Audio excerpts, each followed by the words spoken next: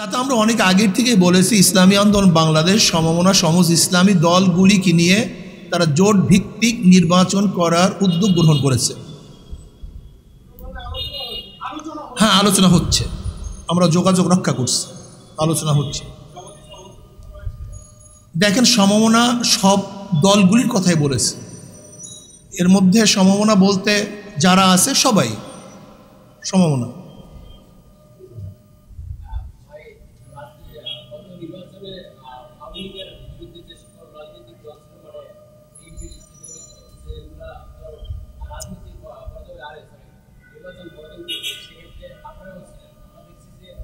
সকল কর্মসূচি যখন অন্যান্য দলগুলো একসাথে মানে কর্মসূচি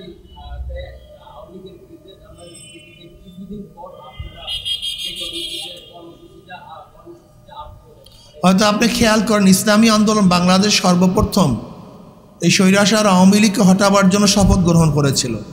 এবং আপনারা দেখেছেন, এক বছর আগে গত জুলাইতেই আমরা বলেছিলাম, আল্লাহ যেন এই দুই চোখের মধ্যে আওয়ামী লীগের পতন দেখান। এবং বলেছিলাম, যতক্ষণ পর্যন্ত আল্লাহ পাক তাদের উপরে এই আওয়ামী লীগ সরকারকে হটাতে না পারব, ততক্ষণ রাস্তা ছাড়বো না। এই স্লোগান কিন্তু আগে কেউ দিতে পারেনি। এত শক্ত কথা ইসলামী আন্দোলনের বাহিরে অন্য কোনো দল দিতে পারে নাই। ঠিক আল্লাপাক আল্লাপাকের শুকর আদায় করছি। আমরা যে আহ্বান করেছিলাম, আল্লাহর কাছে যে দোয়া করেছিলাম আল্লাপাক দুই চোখে সেটা বাস্তবে দেখিয়েছেন।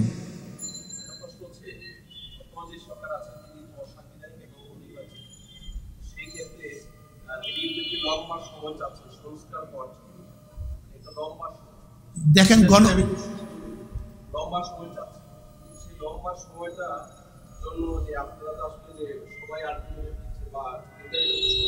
আপনার দেওয়ার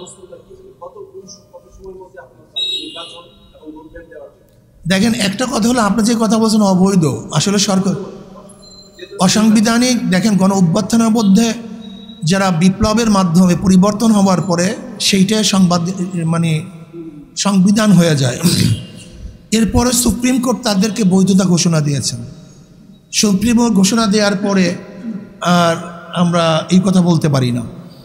বাকি হলো এই যে আমরা বলছি পরিবেশ সৃষ্টি হওয়ার সাথে সাথে, আর বলছি দ্রুত পরিবেশ সৃষ্টি করে আমাদেরকে জানানো হবে, একটা রুট ম্যাপ দেওয়া হবে যে এতদিনের মধ্যে আমরা একটা সুন্দর, নিরপেক্ষ, গ্রহণযোগ্য নির্বাচন উপহার দেব।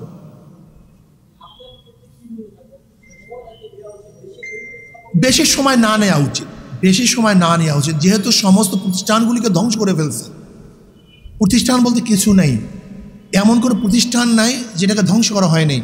কাজে প্রতিষ্ঠানগুলি একটু সংস্কার করার পরই দ্রুত নির্বাচন দেওয়ার জন্য আমরা আহ্বান জানাব। আমরা তো বলেছি এখানে সহস্রাধিকের উপরে। এখানে বলেছি। শুধু শেখ হাসিনাই নয়, যত দোষী আছে এবং যারা টাকা পাচার করছে, সবাইকে বিচারের আওতায় আনতে হবে। শুধু শেখ হাসিনা সরকার নয়, আমরা মনে করি এদের স্বাধীন হওয়ার পর থেকে যারাই যেই সরকারি দুর্নীতির সাথে সংযুক্ত ছিল, বরং পাঁচই আগস্টের পরও যারা দুর্নীতিবাস লুটপাট করেছে, দখলদারি করেছে, আমরা এখানে দাবি তুলছি, তাদেরকেও বিচারের আওতায় আনা উচিত। আপনাদের সবাইকে ধন্যবাদ। আল্লাহ আমাদের সবাইকে একত্রিত হয়ে দেশ গড়ার তৌফিক দান করেন। আসসালামু আলাইকুম রহমতুল্লাহ।